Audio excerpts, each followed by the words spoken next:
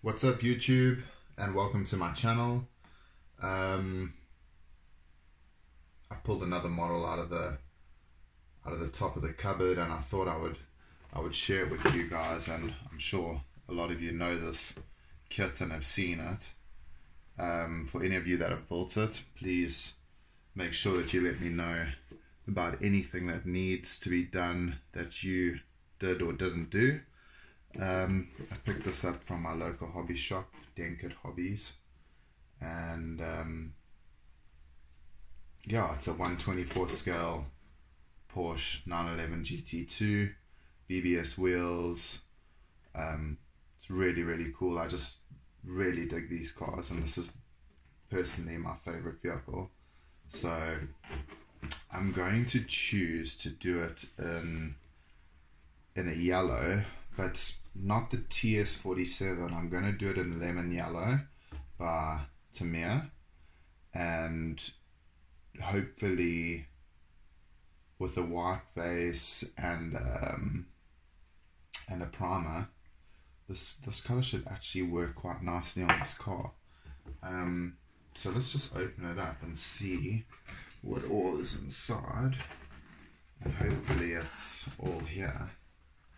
Um, it's obviously instructions, um, whole bunch of stuff, clear parts, this, William wheels.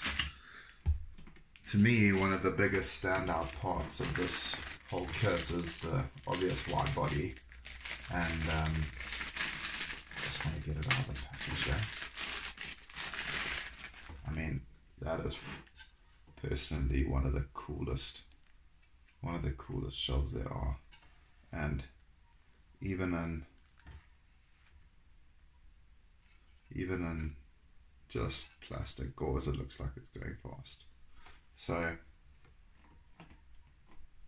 I'm going to try and tackle this build a little bit differently where of course this would be a track build normally.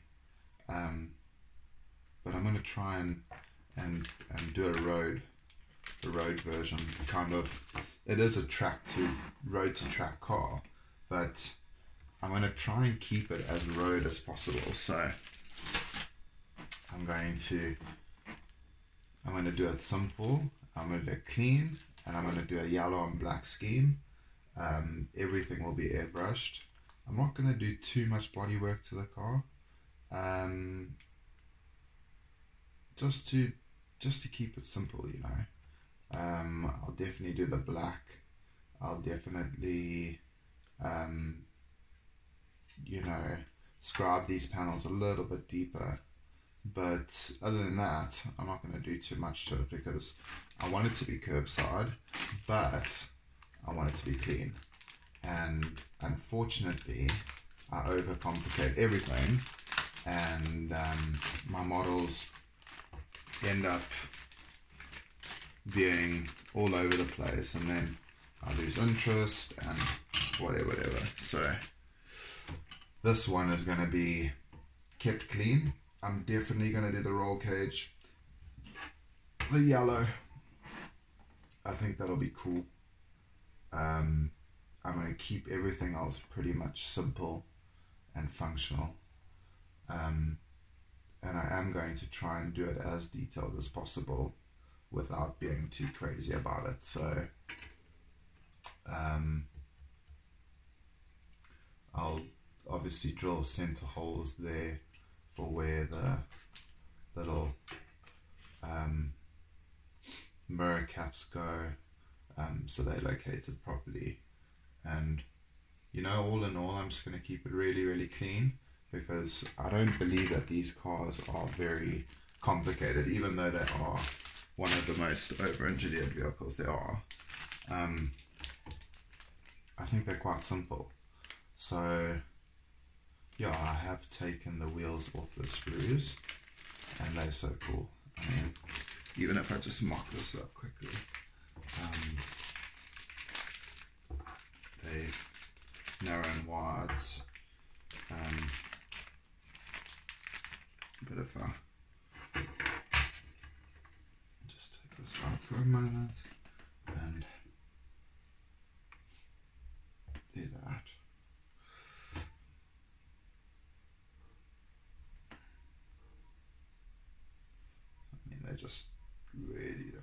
this car.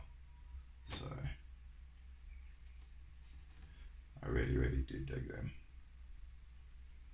I think I might do a black, a black BBS with some gold, gold, little, those little nuts, gold. Um, other than that, I might just keep them as is. Um, but yeah, simple, simple, simple. And I thought what I'd do today was just start piecing things together to some degree and just seeing what fits where because I want to paint everything that's going to go yellow, yellow, and then paint everything that's going to go black, black. So, in my experience, um, I prefer I prefer to to paint the black here. Um,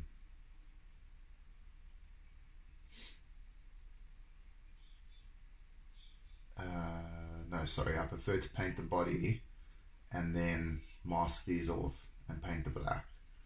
Um, but I want to do it all in airbrush, so um, you know it's going to be tricky. I think it's I think it's not the easiest car to paint, but it will be cool. Um, so let's see what these instructions are telling us we need to do. Um,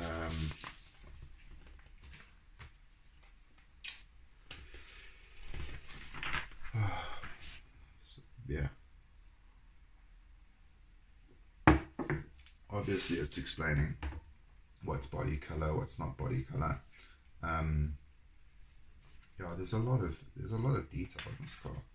Like even though you want to do it simple and clean, it's um, yeah, it's detailed, man.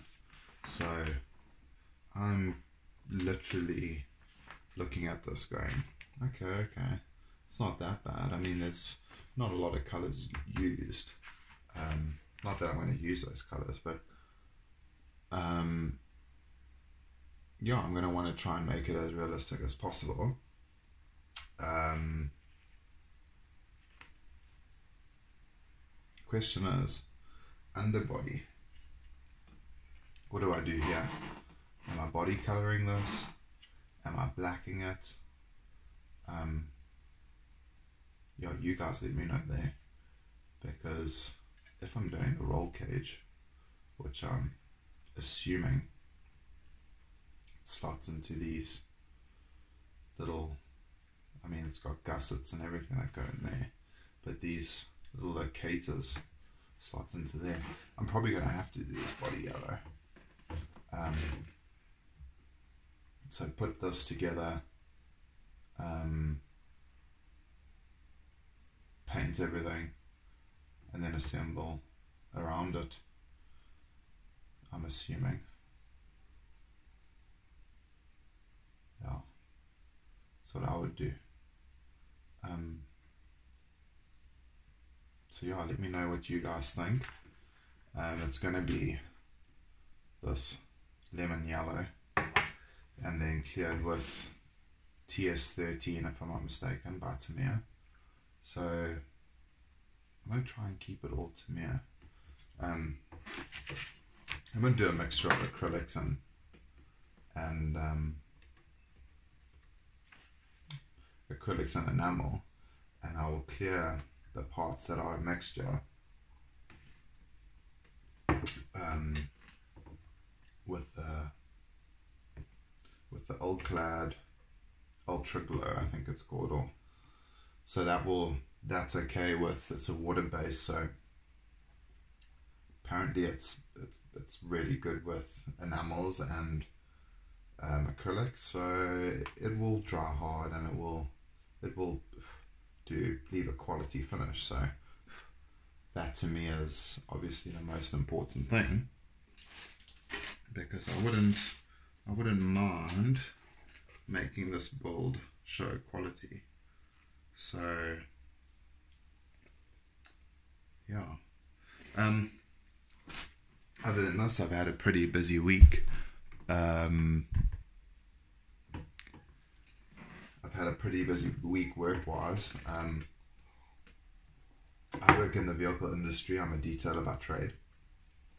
So, for us, we go through phases just as any other industry does, and it, gets out of hand sometimes, you know. Um, and yeah, the last two, three weeks have just been catch up, catch up, catch up, and guys don't understand that things actually take time.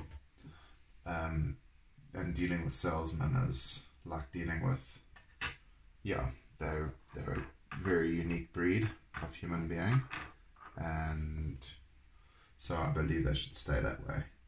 Um, I'm really really liking this so far, though. Even though I'm looking at these um, instructions and I'm going, oh crap, because it's it's not the most detailed. It's just all over the place, and I don't really. You see, I'm I'm at a phase in my model building career, so to speak, where I don't really know where to start, but I kind of know where I want to finish, and that's hard for me because I look at it and I go, oh man, um, I want to put this and this together, but then there's so much detail in between those things that you can't put them all together and then glue them and then paint them because you won't get the detail. But you also can't paint them individually and glue them together because they won't fit. So, looking at things and summing them up in my eyes has just been, oh, it's so difficult for me. Um, I know a lot of you guys have it down, um, and that's just experience. So I'm not pretending that I know more than I do because I don't. So please, guys, you know, um, I'm not saying be kind to me. I'm saying make suggestions so I can, especially on a kit like this. I mean, if you've done this and you say, "Hey, Alex, doors should go on," um, put the front suspension together and paint it all black and detail it up from there. Then that's what I'm going to do. But I'm not going to. Yeah, I'm just like, do I do I prime this as a as a complete tree? Like I've I've never done a model like that, and um, I see guys doing it, and I'm like, shit. Does is that all gonna fit together? Is that is that the way it should be done? Um, so what what do you guys do? I mean, what is your first step? Do you do you prime this tree? Um, would you prime the tree and remove pieces off and, and start fitting and sanding? Or would you remove, trim, start fitting together, uh, sanding, start gluing little things together and then paint? Because um, that's kind of how I would do it but my models don't seem to be going together so well. Um, and yeah, it's, it's off-putting. It's off-putting when you you're sitting at this and you don't want to remove anything, but you you want you want a quality product. So where do I start? Do I start with a a nice thin prime and then start removing things and sanding things? Um, look, I know I know what to do with the body. I'm I'm, I'm okay there. Um, you know, take off any mold lines and things. That's cool. That's not a biggie. But this, this has got me. This has got me stumped. These little pieces. So, yeah, guys, let me know what I need to do here because it's freaking confusing and uh, I feel out of depth and I feel like I'm missing something that everyone else is getting. So, yeah, let me know about that. Um, also, the detail on this piece, these pieces are oh, to me a quality which is pretty hard to beat actually. I mean, even the mold is beautiful. This little so detailed. And I believe this vehicle um, yeah this vehicle's super cool so I don't want to mess this up guys so I'm not going to do anything yet I'm going to read what goes together what goes where but I wait to hear comments and I wait to hear what you guys have to tell me about what I should do um, yeah, definitely, definitely going banana yellow. Um, because I think that'll be cool. Uh, or lemon yellow. Beautiful color. Um, I'll obviously do a prime white acrylic and then go with this. And then I'll do a TS13 and a polish over, which will be cool. I'm, I'm okay with that. I'm just really, really stressed out about everything else going together. So I'm not going to start removing things and trimming and because that's what I always do and it just doesn't seem to always go to plan. So guys, let me know. Thanks again for watching and look, this is my this is me putting myself out there and telling you guys I don't really know what I'm doing. So help me out, hit me up, point me in the direction that I need to be pointed because if this takes me six months to build it properly, then I'll I'll do it properly. Um, I'm not I'm not I'm not rushing it. I mean, I've got other models that I can work on in the meantime, but I want to make sure that this car is done properly and I can display it for years and it's going to hold up and it's going to fit together properly and it's going to be a quality build. So, yeah, I might as soon as I got suggestions on what to do, I will um, I'll start cutting this up and start working on this. But guys, I need your suggestions. I can't do this without you, and I'm really, really at, at like a bit of a stuck point here. So I'm gonna read over this, finish my beer, carry on with my Wednesday, and yeah, I hope to hear from anyone pretty soon. And anyone who can shout out, shout me out, hit me up, you know, even if you DM me, you know, drop me a comment telling me I'm a fool.